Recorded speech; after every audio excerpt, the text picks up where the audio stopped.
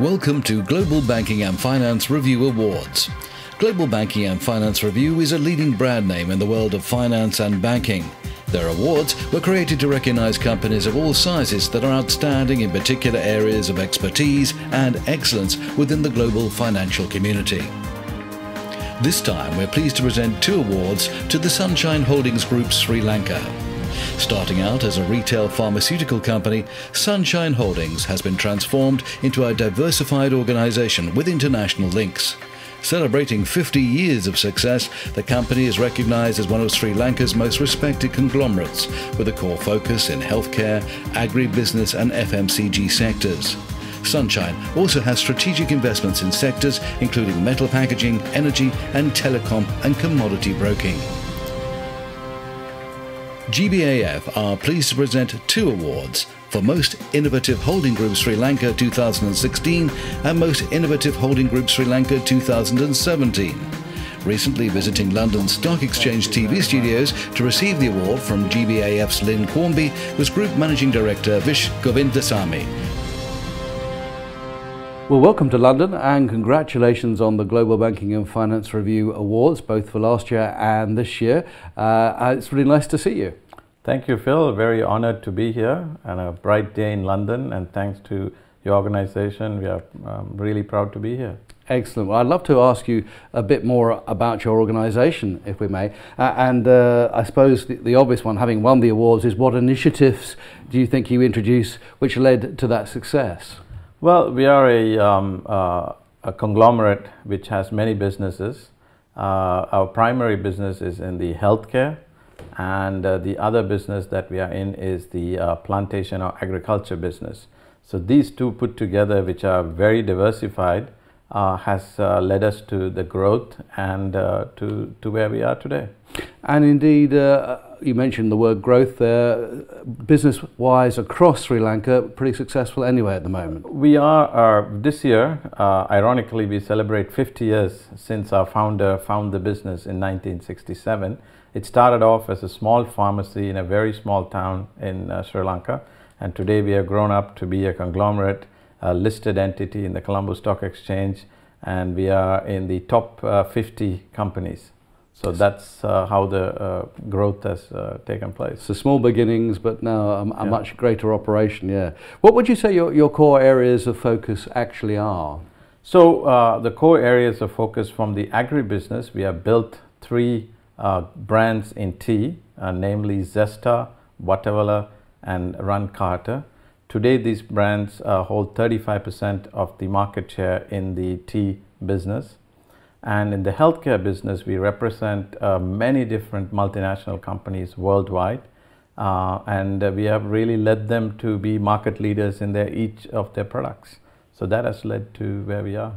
Quite a broad range of products too. Is there a historical reason for that? Well, like I said, the founder found the business in a small pharmacy, led to, as the country moved forward, uh, having its own distribution in healthcare and then moved on to uh, when the government uh, privatized its agriculture business, which is the tea plantations.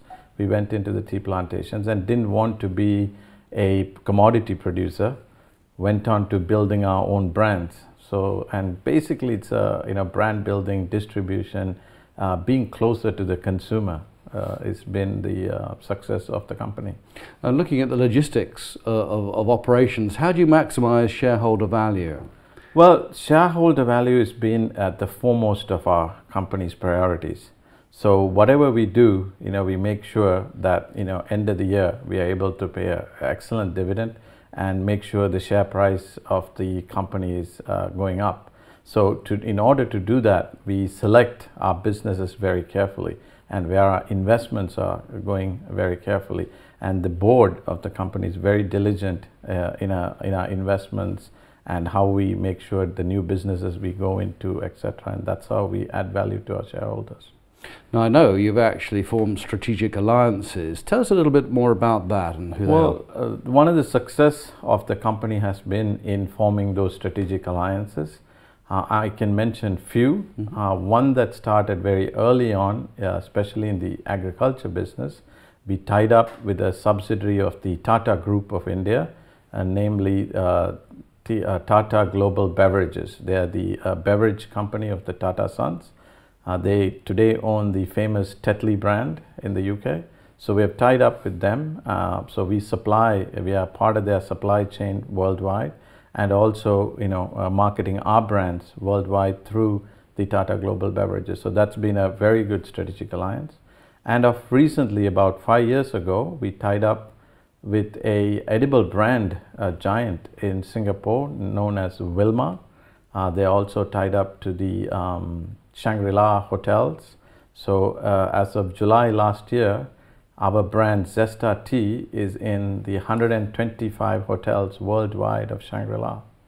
It's easy to see that the reference to tea there from yeah. our country, so yeah. famous for producing tea. Um, what about those those, those partnerships? Uh, what kind of opportunities have they opened up for you? Well, like I said, uh, you know, uh, being part of the Tetley brand is not easy for any other company to be with the second largest uh, tea brand in the world. And again, a hotel chain like Shangri-La, you don't just walk into a chain like that and say, here's my tea, take it.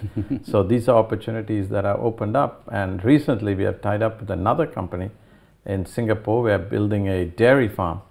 Um, so that is also uh, another alliance that we are joining. We are building a state-of-the-art dairy farm in Sri Lanka.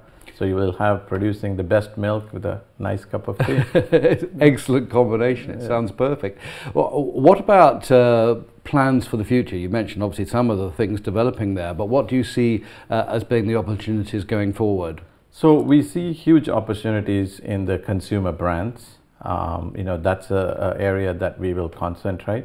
Uh, you know we built a tea brands where we have large market share.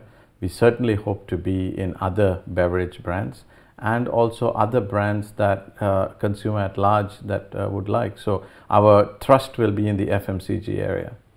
So, so really, there's uh, the future is looking very interesting. Um, what, what are your actual hopes and personal desires? Well, my personal desire, like I said, the company is today 35 out of the top 50. I would like to see this company rise up to the top five very rapidly.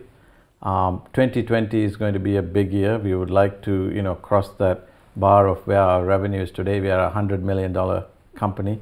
We certainly would want to cross that 125 million dollar uh, range by 2020, three years from now. That's the plan that we have. Well, I wish you every success in doing that. In the meantime, congratulations on the awards and thank you so much for coming. Thank you very much, Phil. Really appreciate it. Love thank you.